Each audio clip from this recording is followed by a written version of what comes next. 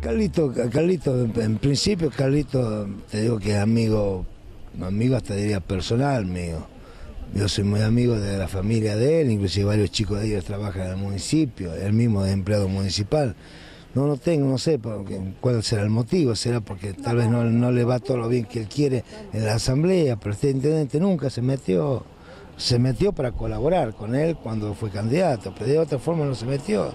Yo lo aprecio mucho, quiero mucho a él, y él no es mi adversario ni mucho menos mi enemigo.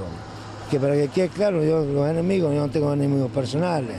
Mis enemigos son la pobreza, la marginalidad, los bajos salarios, la droga, la inseguridad, la exclusión social, la mega minería a cielo abierto.